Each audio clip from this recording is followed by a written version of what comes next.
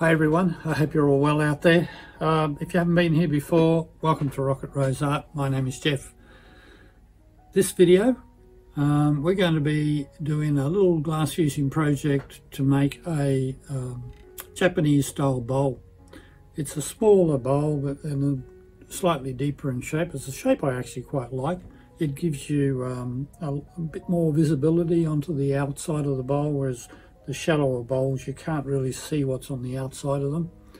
Um, so that's why I like the shape, but it, it's a little bit more problematic as far as getting the slump right it has reasonably deep sides.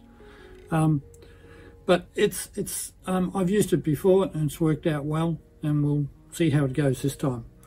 So in this project we're going to use a glass fusing technique called stacking. I don't know that anybody else calls it much else and it's where you take two small pieces of glass, you stack them one on top of each other, fuse it all down. It gives a really nice effect. I've used it in a number of pieces, and if you're careful about the colours you choose, um, it, I think it comes out really well. Don't forget, if you liked the video, I'd appreciate your support by giving me a thumbs up. Um, that would be appreciated. Share the video around, subscribe and turn on your notifications, that'd be great and uh, down the bottom you'll find a thanks button where you can give a small donation. And I'd sincerely want to thank anybody already that has given a donation. Anything that um, you give goes into a fund to replace that old um, tile saw of mine. So anyway we'll get into this project. And of course the very first thing is design materials and any special equipment you'll need. Oh and don't forget, any questions or comments, put them in the comments section below and I'll try and answer all of your questions as best I can. As far as design is concerned, this is the plan. Going to make a bowl and we're going to use this Japanese style mold and uh, it's quite deep that one and we're going to use these colors. We have 0142 which is lavender and 0303 which is Dusty Lilac. And we're also, also going to use some opaque white, which is 0013. We're going to cut a piece of each colour to fit that mould. And then we're going to decorate each side separately with the opposite colour and a small piece of opaque white on the top, not opal white because I want that stark white colour. I had considered doing it this way, so it's just the opposite colours so on this side it would have been the lavender plus the dusty lilac in the middle. But there's not enough contrast there for me, so I'm going to go with white in the middle and just have the opposites with the stack colours. If you're not familiar with the stack style, basically all it is is um, one piece of colour underneath, another one on top, usually reasonably contrasting colours. And a lot of places you'll see it, they just literally cover the piece with these stacks. And I've done that myself and it's very effective. But in this one, I'm going to try and do it a little bit different. I think I'm just going to decorate sort of around the edges so that on this side here, you'll see it around here and it'll be um, around the edge on the top with the middle left undecorated. The only extra equipment you may need is um, a grinder, some way of grinding the edges of this. The edges will be curved, of course, so um, I'll probably be using my little Glastar grinder. As far as the materials, don't forget this is Bullseye 90 COE, so the firing schedule I'll give you is for that. You'll need to adjust it for whatever COE you're using and for the uh, variations in your kiln. I'll be fusing it on the shelf on thin fire paper and the mould will be sprayed with boron nitride. So you'll find the firing schedule um, over on my website and there'll be a link in the description to that page and that'll also include things like dimensions and I'll also list the colours and any other bits of information that um, I might mention in the video or I've forgotten in the video. Don't forget your safety. Make sure you wear your safety glasses when you're cutting glass or grinding glass, anything like that and uh, probably a good idea to wear it all the time. And um, then when you're cleaning up things like thin fire or anything like that, make sure you've got a mask on. So we'll get on now and I'll cut up the glass Already got some of these small stacking pieces cut up, but I will need some more in white.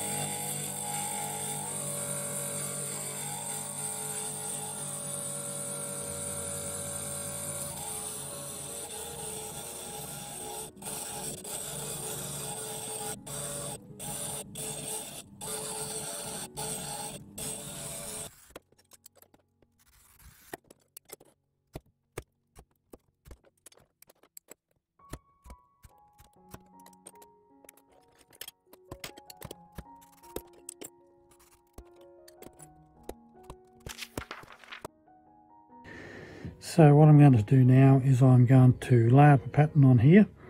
We're going to fuse that and um, then we'll um, turn her over and uh, lay up a pattern on the other side and then fuse that. Once it's all fused, um, I'll come back and on my grinder I'll refine the shape so it fits our piece here a lot better because when I fuse all this up it's going to get a little bumpy around the sides where the glass spreads out.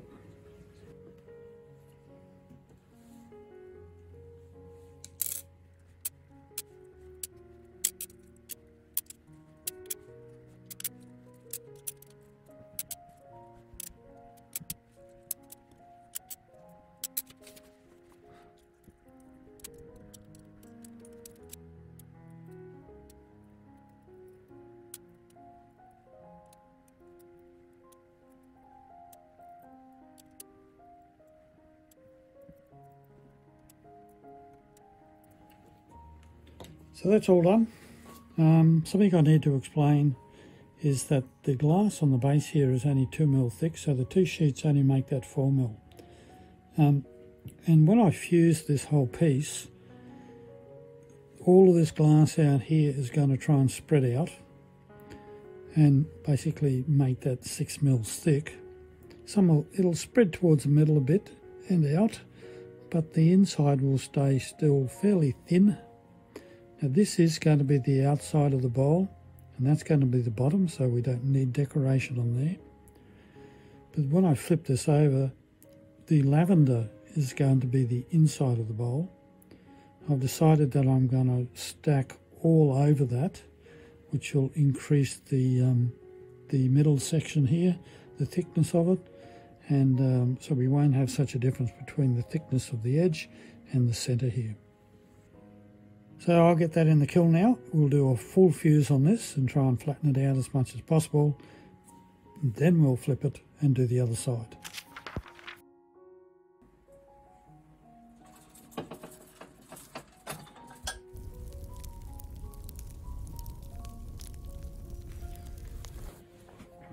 So we're finished with the full fuse and there are a couple of things I need to mention before we go on to the fire polish.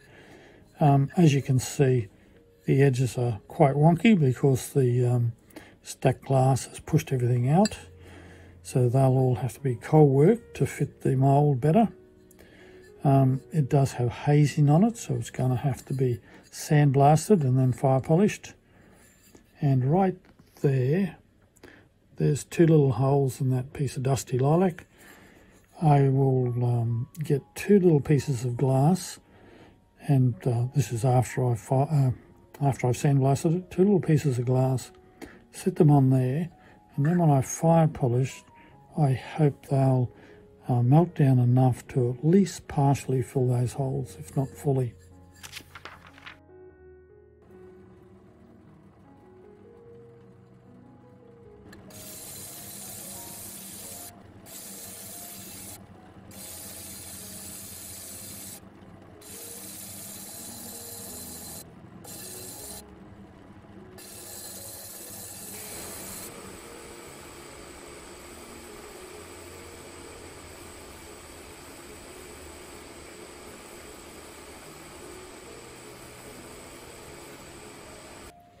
Okay, that's the uh, cold working done. I've ground the edges and sandblasted it and cleaned off all that scummy haze. Now, word about the mould. The mould may look uniform, but in fact, I put a measuring tape on this from corner to corner, and believe it or not, every corner is different, or I should say the sides are different. So orientation on this is quite important. And um, I did forget the orientation, so I've sort of matched it up. I think it should be fine. Now, remember those two holes up there? They have got bigger through the sandblasting, and we've introduced some on the back here. It just seems to be that there are a lot of little bubbles just below the surface, and the sandblasting takes off a fine layer of glass and exposes them. Now, I have somewhere here, here we are, I have a little piece of uh, dusty lilac that I'm going to sit on that. And when I um, fire polish this, hopefully, because it's so small, it's going to melt down into that and um, fill those holes. I say hopefully because it's not really going to be at a very high temperature um, a fire polish is considerably lower than a full fuse. And um, while I will try and keep it there until that flattens out, um, I do run the risk of introducing some more devitrification because that's going to be held at or within the temperature range that it will occur. So wish me luck on that one because I really don't want to have to um, do anything else with this and then have to try the fire polish again.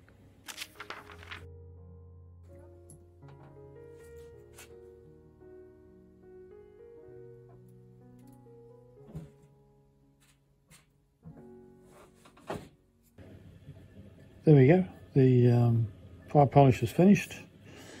And I'm just trying to find where that um, I put that little piece but I can't really, oh there it is right there I think. Just slight difference in color um, I did have to take that fire polish up uh, to I think it was 760 to get that to flatten out. Um, but it has flattened out. Very very slight difference in color so you can't really tell it. You can actually see more difference in color between some of these and these over here.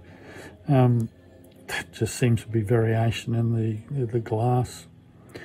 So that now needs to go in the mold and we'll do our final slump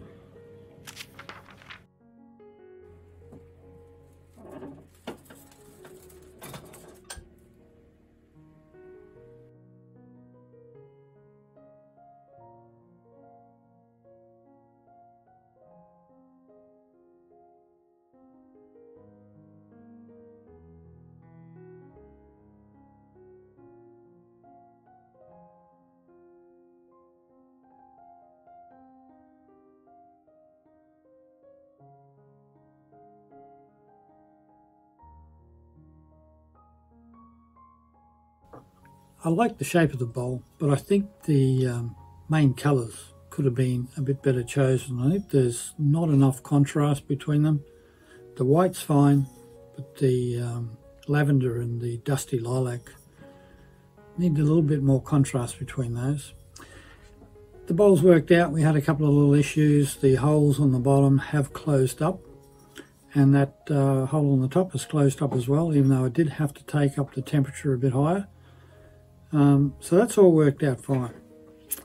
Anyway, tell me what you think. Let me know in the comments. Put all your questions in the comments. Um, if you like it, give me the thumbs up. Don't forget, a couple of suggested videos up there. The uh, subscribe button's right there. Hands behind me working. And until the next video, I'll say bye for now.